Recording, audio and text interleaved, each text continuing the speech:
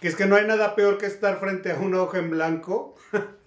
Lo verdaderamente aterrador es estar frente a una hoja o una pantalla a la mitad. Esa sensación de inmovilidad puede ponerte los pelos de punta.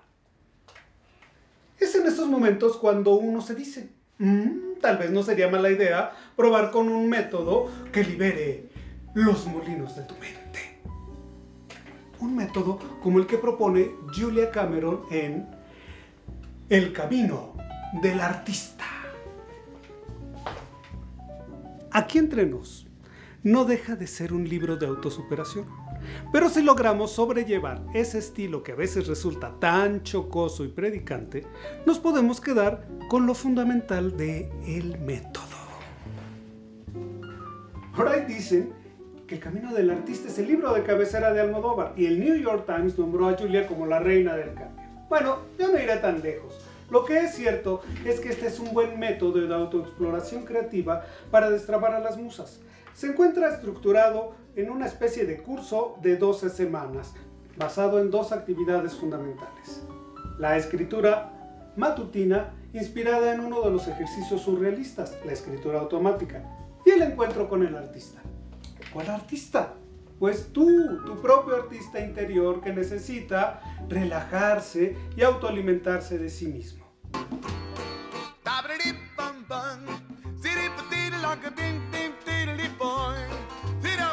Todo comienza con Herr Sigmund Freud, quien habla del subconsciente y en síntesis que nuestros más oscuros deseos emergen durante el sueño y que en toda obra de arte se ponen en juego componentes íntimamente ligados al inconsciente, así como la corporización del deseo, resultando ser un mediador entre la fantasía y la realidad.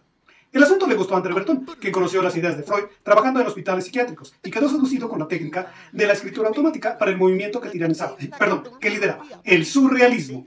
Según él, con este método se podría lograr el dictado del pensamiento en ausencia de todo control ejercido por la razón y fuera de toda preocupación estética o moral. Ah, pero la cosa no era así como así. Se debía seguir el siguiente método. Situarse en un lugar que sea lo más propicio posible a la concentración del espíritu. Entrar en el estado más pasivo o receptivo del que seamos capaces. Prescindir del genio talento y del genio o del talento de los demás.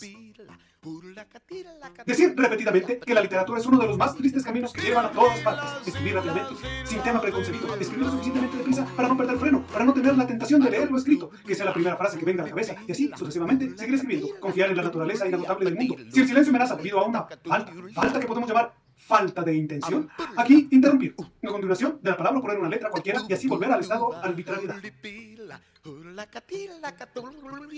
Bueno, ¿y qué es lo que toma el método de Cameron? Escribir rápidamente, sin tema preconcebido. Escribir lo suficientemente deprisa para no poner frenos, para no tener la tentación de leer lo escrito. Seguir escribiendo, confiar en la naturaleza inagotable del murmullo. Así, día con día, por la mañana, justo al despertar.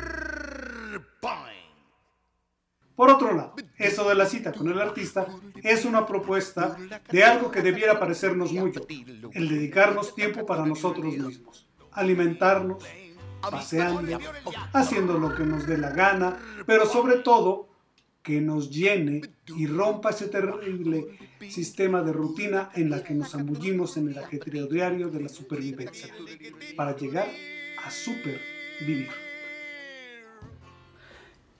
Si te sucedió o te sucede como le pasó a la autora, que ya no le llegan las musas, sino puras musarañas, ya sea por el alcoholismo, por la depre, por la rutina, por la pareja o un sinfín de cosas innombrables, es momento de investigar en uno mismo.